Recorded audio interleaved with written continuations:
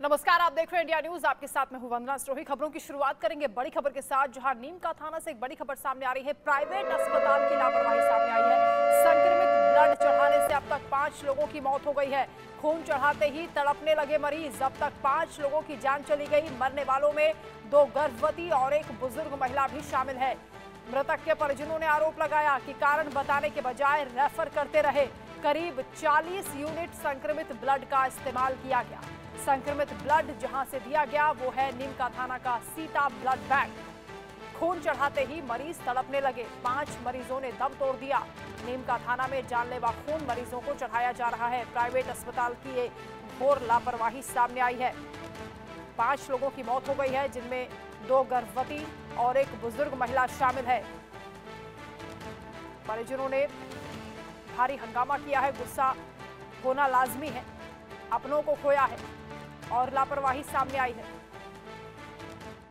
प्रसुप्ता की डेथ भी हो चुकी है तो उसके संज्ञान में उच्च अधिकारियों ने के निर्देश, निर्देशानुसार हमने आके आज ब्लड बैंक पे इनके डॉक्यूमेंट्स वगैरह को सुरक्षित रखवाया है और बाकी आगे की कार्रवाई उच्च अधिकारियों को सौंपी जाएगी, जैसे। प्रसुप्ता की डेथ भी हो चुकी है तो उसके संज्ञान में उच्च अधिकारियों ने के निर्देश, निर्देशानुसार हम ने आके आज ब्लड बैंक पे इनके डॉक्यूमेंट्स वगैरह को सुरक्षित रखवाया है और बाकी आगे की कार्रवाई उच्च अधिकारियों को सौंपी जाएगी। और उसी खबर पर ज़्यादा अपडेट के साथ मनु शर्मा हमारे साथ जुड़ रहे हैं। मनु ये जो पूरा मामला है ये कब खुलकर सामने आया है और जो संक्रमित ब्लड चढ़ाया जा रहा था ये सिलसिला कब से चल रहा था? क्या इस पर कोई जाँच से पहले नहीं हुई थी? और अभी आ, कितने मरीजों को ये संक्रमित ब्लड चढ़ाया गया है? क्या पूरी डिटेल्स आ रही है? देखिए, सारा मामला 9 से 13 मई के बीच का है। 9 से 13 मई के बीच में सीता ब्लड बैंक से जितने भी ब्लड गए थे, यानी ब्लड की जो यूनिट्स गई थी, उसको लेकर के सवाल खड़े हो रहे हैं।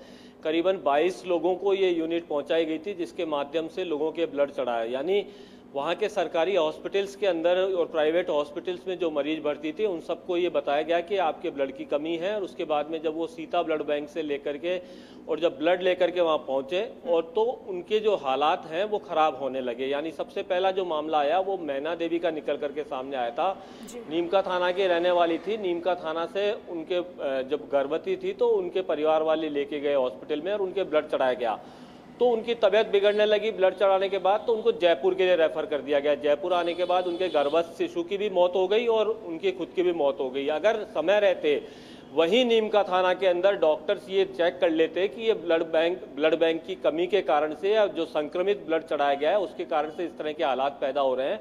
तो ये और लोगों के इस तरह के हालात पैदा नहीं होते। उसके बाद में राधा देवी हैं, उनकी भी सेम इसी तरीके से स्थिति हुई और उनके भी जो है मौत हो गई। उनका बच्चा बच गया, लेकिन उनकी खुद की मौत हो गई। इसी तरीके से एक मूली देवी है, सिरोही की मूल रूप से रहने वाली थी वृद्धा थी सत्तर साल की। उनकी मौत हो चुकी है। तो ये 22 जो ब्लड यूनिट्स गई हैं, अब प्रशासन उन सबको चिन्हित करने की कोशिश कर रहा है कि उनके क्या हालात हैं। तो सबसे बड़ी बात है ये ड्रग कंट्रोलर जो डिपार्टमेंट होता है, जो इसका लाइसेंस जारी करता है, वो समय समय पर इसकी जाँच करते हैं। सीता ब्लड बैंक जो है, नीमका थाना के अंदर प्राइवेट ब्लड बैंक है, जिसके माध्यम से ब्लड दिया गया। लेकिन वहाँ की क्या हालात है, इसके ऊपर अभी रिपोर्ट जो आना है, वो वहाँ के सीएमएचओ को डॉक्टर नरोत्तम शर्मा हैं, उनको सौंपी गई है। दो तीन दिन के अंदर वो अपनी जाँच रिपोर्ट सरकार को पेश करेंगे। जी।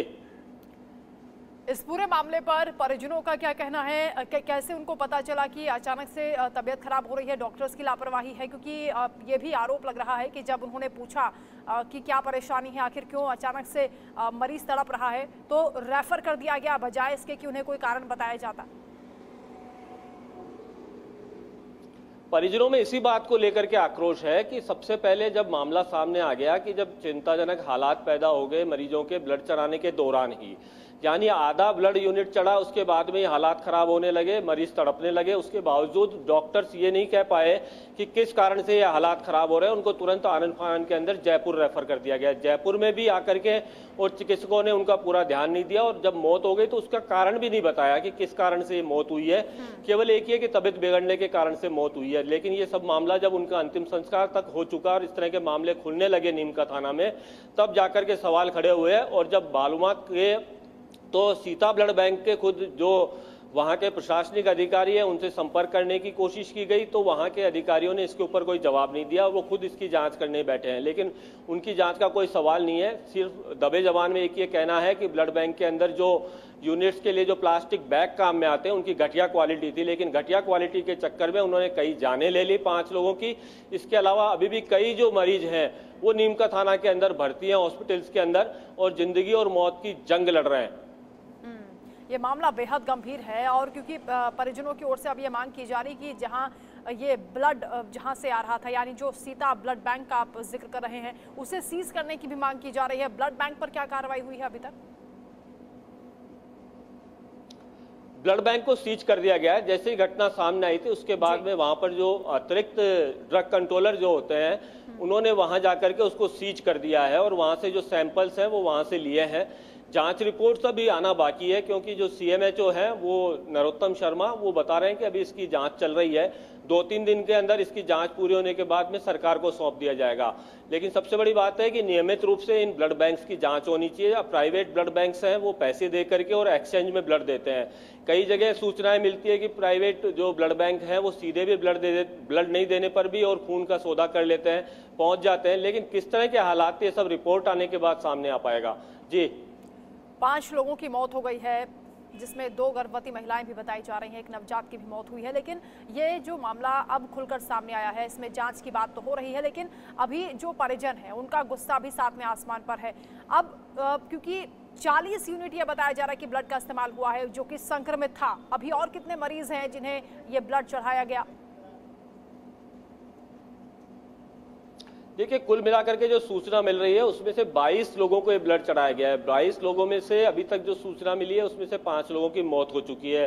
तीन लोग अभी भी हॉस्पिटल के अंदर भर्ती हैं जो अ, जिनके हालात खराब हैं और जिनका इलाज चल रहा है इस सारे मामले को लेकर के। बाकी लोगों को अभी प्रशासन जो है चिन्हित करने में लगा हुआ है, किस हॉस्पिटल में भर्ती हुए थे, कहाँ से ब्लड लिया था, किस ब्लड बैंक के माध्यम से ब्लड लेकर के गए थे, वो सारी जाँच अभी चल रही है। तो 22 में से पाँच लोगों की मौत हो चुकी है और तीन लोग जो है अभी भी हॉस्पिटल के अंदर, नीमका थाना के अंदर अलग अलग अस्पतालों के अंदर भर्ती है। जी। ठीक है, मनु जी, आप नज़र रखिएगा। फ़िलहाल बहुत शुक्रिया तमाम जानकारी के लिए। बेहद